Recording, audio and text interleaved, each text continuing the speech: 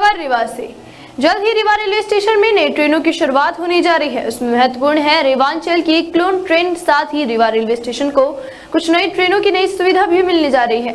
Voice over corona virus संक्रमण से उबरने के बाद रेलवे रीवा में अपना स्वरूप बदलने जा रही है। इसके लिए प्रयास किया है मध्य प्रदेश के विधानसभा अध्यक्ष गिरीश गौतम। चाहते हैं रीवा में कुछ नई ट्रेनों का विस्तार हो वह लगातार रेलवे विभाग के वरिष्ठ लोगों के साथ संपर्क में है।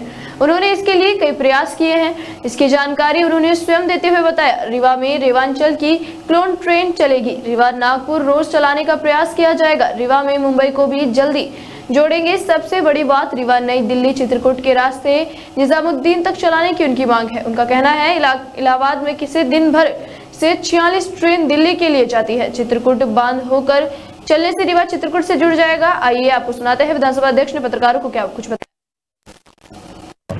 चिट्ठी यहाँ तमाम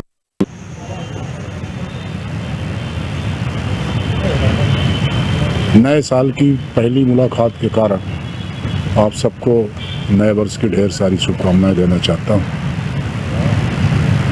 और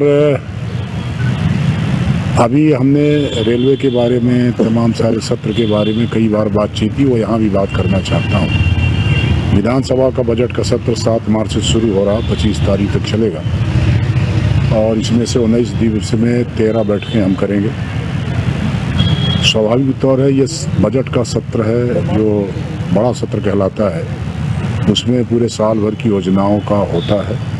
एक तो ये जानकारी आपको देनी थी एक रेलवे के बारे में लगातार सब चारों तरफ़ से प्रयास होते रहे हैं और रीवा की रेल के संबंध में बड़ी डिमांड थी। तो अभी मेरे सामने दो जानकारी आई है, मेरे पत्र हैं, ये आप देख लीजिएगा इसमें।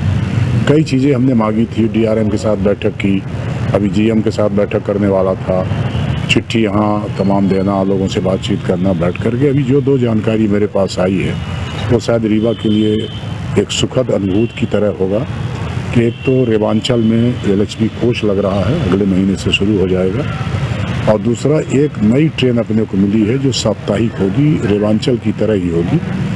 वहाँ से भोपाल से नौ पच्चीस पर चलेगी, शनिवार को छः बजे यहाँ रीवा आएगी और उसी दिन दोपहर को बारह बजे चली जाएगी और आठ बजे रात को भोपाल पहुँच जाएगी। तो अभी तो ये था कि किसी तरह से शुरू हो ट्रेन एक कोई, रेगुलर इसका साप्ताहिक हो, किसी तरह हो जाए बाद में सब मिल करके हम जब ज़ोर लगाएँगे तो उसको दैनिक करने का या एडिशनल एक ट्रेन करने का प्रयास करेंगे कि वो हो।